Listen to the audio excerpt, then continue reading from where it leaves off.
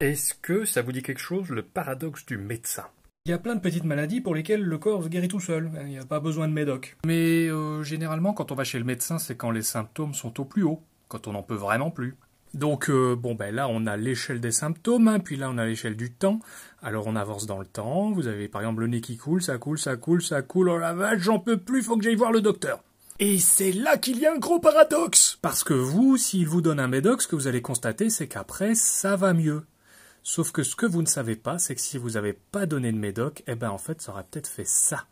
Et du coup, le médoc, si vous aviez le choix, bah, peut-être vous vous seriez dit, bah, je m'en balèque, j'en ai pas besoin en fait. C'est une des raisons pour lesquelles il y a un problème de surmédication dans nos sociétés occidentales. Osez aller voir des médecins qui vous disent que vous n'avez besoin de rien, même quand vous êtes au plus mal.